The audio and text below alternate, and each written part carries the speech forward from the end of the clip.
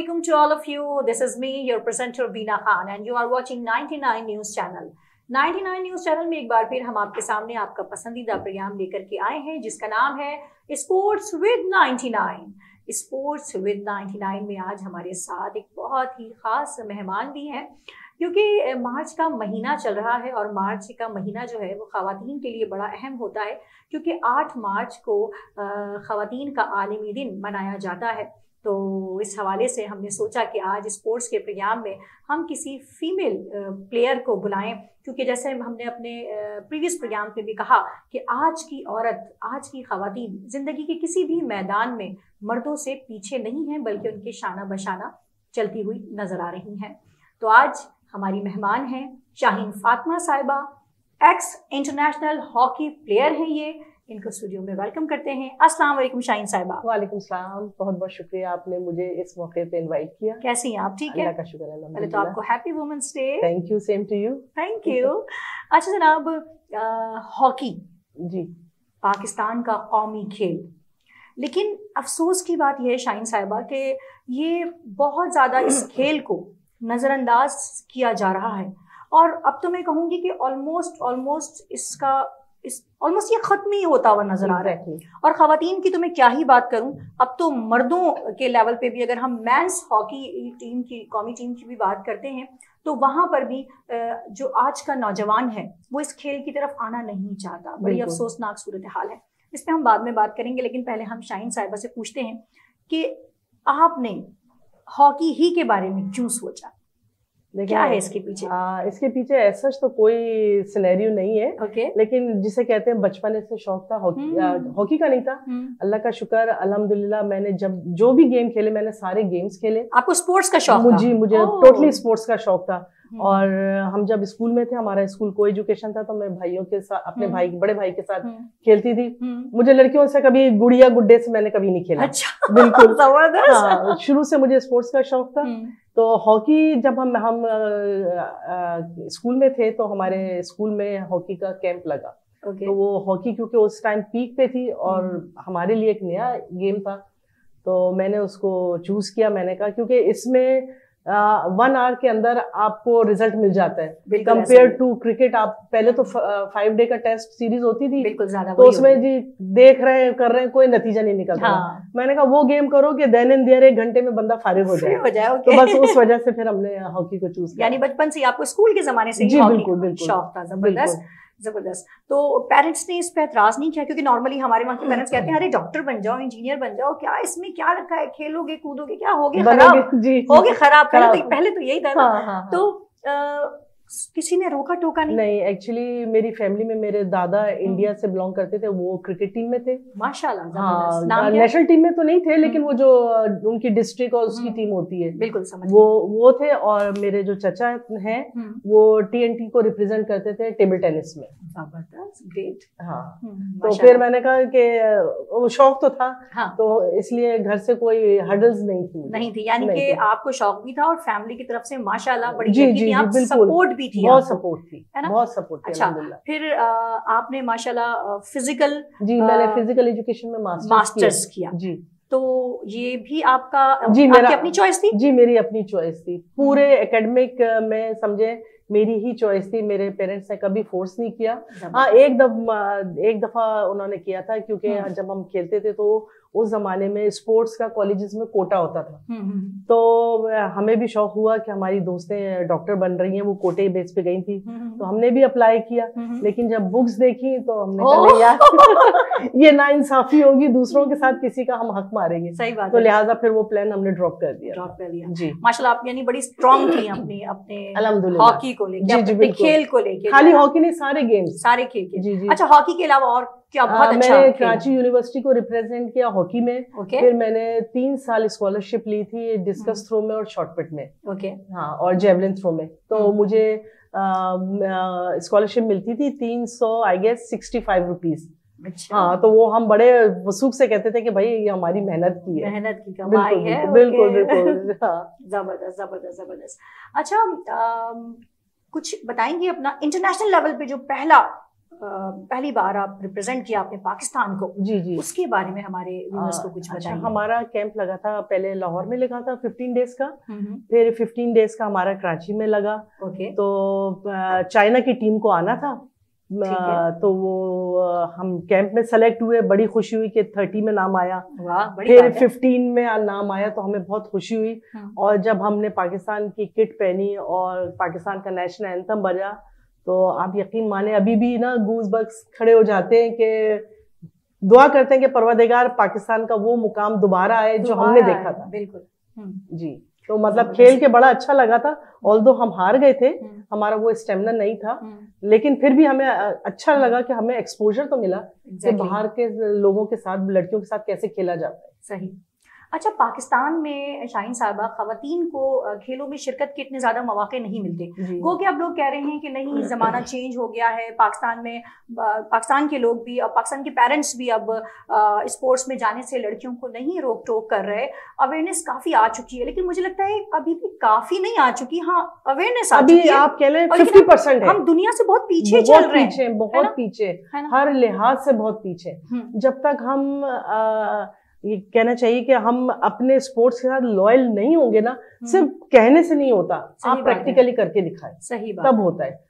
No doubt talent है हमारे पास हम्म, बहुत है लेकिन आप टैलेंट को सही तरह उसको मोटिवेट करें ना उसको सही। सही कैंप लगाएँ। अब आप कोशिश करते हैं या आपने समझे एक महीने का आपने कैंप लगा दिया सही सही सही। एक महीने आप इंटरनेशनल लेवल पे नहीं खेलेंगे। जब तक आप throughout at least six months तो हो ना सही आप एक महीने का हिसाब ऐसा है जब आप एनवलप में हवा भरे हम्म, और कहीं से पंक्चर हो जाए तो हवा निकल जाती है। सही बिल्कुल तो सही तो वो वाली मिसाल है क्योंकि जब हाँ। स्टेमिना ही नहीं होगा आप कितना करेंगे? कितना करेंगे? जी। जैसे कि अभी हम अगर हम मैंस हॉकी टीम के बारे में भी बात करते हैं कौमी टीम तो उसका भी हाल बड़ा ही बुरा है। चाहे मैं नेशनल हॉकी टीम की बात करूँ या जूनियर हॉकी टीम की बात करूँ क्योंकि अभी जूनियर हॉकी टीम भी अभी वर्ल्ड कप के लिए गया था और। बड़ी ही मायूस कुन कारकर्दगी रही।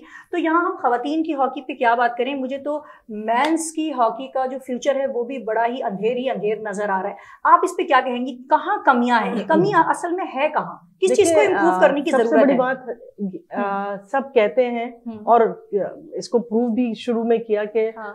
हॉकी हमारा नेशनल गेम है। नेशनल गेम लेकिन अब आप बताएँ नेशनल गेम किधर है? तवज्जो नहीं है। सारी फोकस हर चीज़ आपने क्रिकेट पे कर दी है। एग्जैक्टली अब बच्चे के जहन में है कि क्रिकेट जो है वो ग्लैमर है। ग्लैमर आपको फेम भी मनी भी हर चीज़ आपको मिल रही है। हॉकी पे कोई तवज्जो ही नहीं दे रहा। और जब तक आप पर्सनली उस पर तवज्जो नहीं देंगे भाई आप बोले जिस तरह क्रिकेट को कर रहे हैं इसी तरह हम हॉकी को करेंगे। हो सकता है आपके हाँ, पास नो डाउट मैं वही आपसे कह रही हूँ हमारे पास टैलेंट है। हम्म, लेकिन जब बच्चा अपना फ्यूचर ही नहीं देख रहा वो तो वो क्या अप्लाई करेगा? क्यों करेगा? आप देखें हॉकी तो छोड़े पाकिस्तान से सारा टैलेंट बाहर जा रहा है। बाहर जा रहा है सही क्यों जा रहा है? इसलिए यहाँ पे स्कोप ही नहीं है। स्कोप नहीं है तो बिल्कुल क्रिकेट तो फिर भी कुछ खेल लेते हैं बन जाते हैं लोग। हॉकी में तो कोई बना ही नहीं और नीचे जवाल पे आ गए। जवाल पे आ गए जी। सही कह रहे शाहीन साहिबा एक वक्त था कि पाकिस्तान हॉकी टीम जो है वो ओलंपिक और वर्ल्ड कप के लिए जो है बराह रास्त उसमें शरीक होती थी। और अब वो वक्त आ चुका है कि हमें क्वालिफाई राउंड में से गुजरना पड़ रहा है। और उसके बावजूद कोई अच्छा रिज़ल्ट तो उसका भी अभी भी नहीं आया लास्ट जब देखा तो क्या कहेंगे इसके बारे में आप? मतलब ये हॉकी ऑलमोस्ट मरी चुकी है। मैं अगर कहूँ बहुत माजरत के साथ लेकिन कुछ नज़र नहीं आ रहा बिल्कुल अंधेरा ही नहीं है आप बिल्कुल सही हम्म, कह रही हम्म, है हम्म। लेकिन इसका फिर वही हल है ना हम्म, कि जब तक आप हॉकी पे खुले दिल से और जिसे कहना चाहिए कि हम्म, पूरी मेहनत से आप हम्म। हॉकी पे मेहनत नहीं करेंगे हम्म, और हॉकी को भी वो मुकाम नहीं देंगे जो क्रिकेट का है। सही। जब तक मुझे नहीं लगता कि कोई बच्चा या कोई टैलेंट हम्म। आपके सामने आएगा। सामने आएगा। जी बिल्कुल। क्योंकि देखिए ना बच्चा अगर खेलेगा हम्म, खेलना आसान नहीं है। ठीक है लेकिन बच्चे को ये तो होना चाहिए वो अपनी फैमिली को सपोर्ट करता है। ठीक है। तो बच्चे के पास इतना तो होना कि वो अपना और अपनी फैमिली का अच्छा एक जिसे कहना चाहिए सपोर्टर बने। हॉकी में तो डेलियाँ नहीं मिलती हैं। ये एग्जैक्टली यही तो है। तो फिर कौन सा बच्चा आएगा? जो रहे वो भी मेरे ख्याल में सोच रहे होंगे कि हम क्यों आए? क्यों आए? हॉकी ही क्यों हमने बिल्कुल बिल्कुल चूज़ किया? बिल्कुल सही करें और इंटरनेशनल लेवल का इंटरनेशनल लेवल के मैार की फिटनेस भी नहीं, नहीं है। बिल्कुल नहीं और उसके लिए कुछ मतलब बातें तो मुझे कभी ना कभी हर छह महीने बाद जब चीज़ें चेंज होती है मैनेजमेंट चेंज तो बातें तो नज़र आती हैं बट प्रैक्टिकली प्रैक्टिकली तौर पे कुछ नज़र नहीं बिल्कुल कुछ नहीं। पेजेस पे तो नज़र आ रहा होता है हम ये करेंगे हम ये करेंगे हम ये करेंगे मगर अफसोस के साथ कि हमारा वो प्लेयर जो इंटरनेशनल लेवल पे खेलने जा रहा है उसकी अपनी जो फिटनेस है वही इंटरनेशनल लेवल की नहीं है। वो उसकी प्रैक्टिस भी बहुत कम होती है क्योंकि इतने मैचेस हम लोग नहीं खेलते जितने की हमें खेलनी चाहिए। ज़ाहिर है हमारे प्लेयर्स हमारे हॉकी के प्लेयर्स जब इंटरनेशनल लेवल पे जितना ज़्यादा विज़िट करेंगे दूसरी कंट्रीज़ में जितने ज़्यादा दूसरे वेदर्स में दूसरे क्लाइमेट में दूसरे क्या कहना चाहिए सिचुएशंस जो होती हैं उसमें खेलेंगे और इंटरनेशनल प्लेयर्स के साथ कहते हैं ना साथ बैठ के साथ खेल के इंसान बहुत कुछ सीख रहा होता है। तो वो सब हमारे ये सब चीज़ें जिनका मैंने अभी ज़िक्र किया ये सब हमारे जो हॉकी के प्लेयर्स हैं उनके पास नहीं है। मैं तो कह रही हूँ फिर भी उनका उनकी उनका जिगरा है कि मुझे अगर कोई कहे तो मैं तो यू यू हो जाऊँ। अब आप देखें ना अगर आप छोटे से बच्चे से भी हाँ। पूछे क्रिकेट में कौन है? वो सबके नाम गिना देगा। सही है अगर आप हॉकी के हवाले से किसी बुज़ुर्ग से भी पूछे ना हम्म। बच्चा तो दूर की बात हम्म। उनको नाम याद नहीं रहेंगे। क्यों? हॉकी वो ग्लैमर ही नहीं है। हम्म। हाँ। तो जब तक आप हॉकी को वो दर्जा नहीं देंगे जो आपने क्रिकेट को दिया है यहाँ इतने स्पॉन्सर्स हैं सबको चाहिए कि मिलके हॉकी को स्पॉन्सर्स करें। उनमें भी ऐसा ग्लैमर डालें बच्चों को करें। तो क्यों नहीं हॉकी इम्प्रूव हो?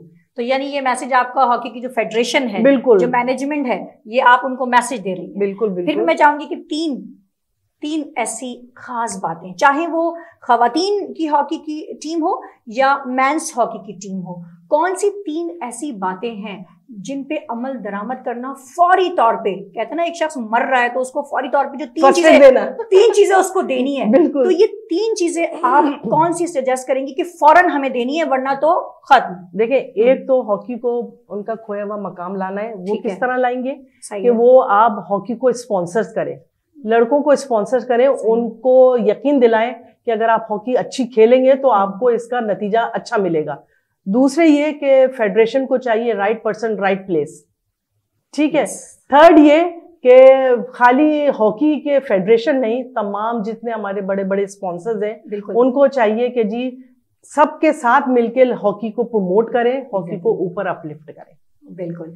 अच्छा माशाल्लाह आप खातून होके आपने हॉकी को पसंद किया पूरी अपनी ज़िंदगी आपने इस खेल वैसे तो आपने बहुत सारे खेल खेले बहुत सारे स्पोर्ट्स खेले लेकिन हॉकी को आपने अपनी ऑलमोस्ट पूरी ज़िंदगी दी थी। माशाल्लाह अभी इस वक्त आप वो भी तो बताइए ना माशाल्लाह अभी आप क्या सर्विसेज़ दे रही हैं? जी मैं जियाउद्दीन यूनिवर्सिटी में as a deputy director sports हूँ और माशाल्लाह से हाँ हमने बहुत अभी रिसेंटली हमारा एक टूर्नामेंट हुआ था ए के यू के अंदर इंटर यूनिवर्सिटी वॉलीबॉल तो उसमें मैंने यूनिवर्सिटी जियाउद्दीन यूनिवर्सिटी ने फ़र्स्ट पोजीशन वहाँ हासिल ज़बरदस्त माशाल्लाह।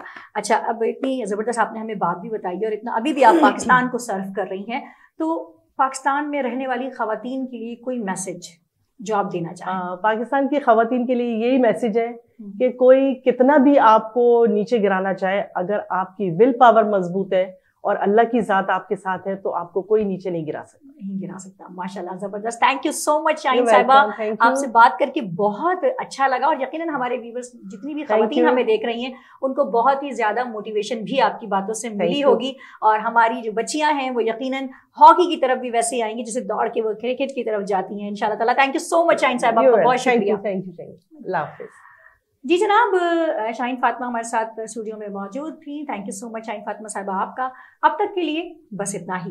अगर आपको हमारा प्रोग्राम अच्छा लगा हो तो कमेंट ज़रूर कीजिएगा और लाइक भी कीजिएगा। और जी हाँ जनाब चैनल को सब्सक्राइब करना बिल्कुल भी मत भूलिएगा। So keep watching sports with 99 Beena Khan को दीजिए इजाज़त। अल्लाह हाफिज़।